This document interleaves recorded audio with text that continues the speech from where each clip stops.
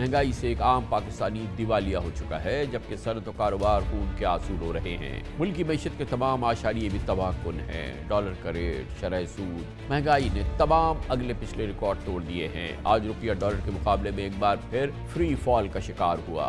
Interbank में एक मौके पर डॉलर चार रुपए तक महँगा हो चुका था। पीडीएम की हुकूमत आने के बाद डॉलर एक सौ चार रुपए महँगा हुआ है और रुपए की कदर अट्ठावन फ़ीसद घटी है। इमरान खान की रुखसती के वक्त डॉलर एक सौ बयासी रुपए बयानवे पैसे का था। आज इंटरबैंक में डॉलर दो सौ सत्तासी रुपए और ओपन मार्केट में तीन सौ रुपए तक जा पहुँचा। जब वजी अजम शहबाज शरीफ ने हुकूमत संभाली, उस वक्त महँगाई की शरह तेरह आशारिया चार फ़ीसद थी, जो तकरीबन तीन गुना, जी हाँ तीन गुना इजाफे के बाद पैंतीस आशारिया चार फ़ीसद हो चुकी है।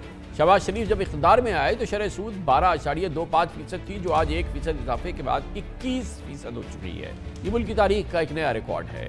पिछले एक साल में शरह सूद में आठ आशारिया सात पाँच फ़ीसद इजाफा हुआ है। शहबाज हुकूमत में कराची से खैबर तक आवाम महँगाई की चक्की में पिस रहे हैं और एक साल में आटा अट्ठासी फ़ीसद महँगा हुआ है, चीनी उनतालीस फ़ीसद, पेट्रोल इक्यासी फ़ीसद, डीजल 103 फ़ीसद, बिजली औसतन अड़सठ फ़ीसद महँगी हो चुकी है, गैस की कीमतें 112 फ़ीसद बढ़ी।